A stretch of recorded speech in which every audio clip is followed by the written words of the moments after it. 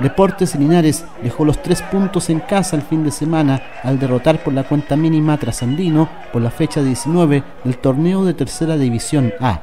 Un valioso triunfo que deja al conjunto albirrojo en la segunda posición de la tabla de ubicaciones, superando incluso la expulsión de un jugador. Sí, fue un partido trabajo. Eh, gracias a Dios pudimos dejar los tres puntos en casa como los veníamos haciendo y nada, contentos, jugando bien o jugando mal, como le decía a todos los chiquillos, hay que dejar los tres puntos en casa como sea. Santino venía a jugar su juego, era un partido duro, pero el profe lo, trabajó de buena manera, presionarlo y yo creo que se reflejó también, pues en nuestra cancha hay que ser protagonista. Una victoria que era fundamental ante uno de los rivales directos en el campeonato. Y hoy día no, no solo en esta categoría, sino que uno ve el fútbol a diario en todas las categorías, a veces una pelota muerta, un balón detenido, un balón trabajado durante la semana te puede dar mucho rédito.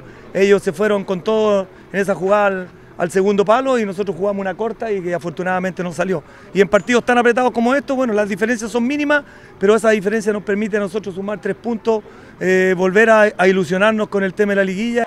Deportes Linares ahora deberá viajar a la región de Antofagasta para enfrentarse este sábado a las 16 horas a Mejillones. Sebastian Villa.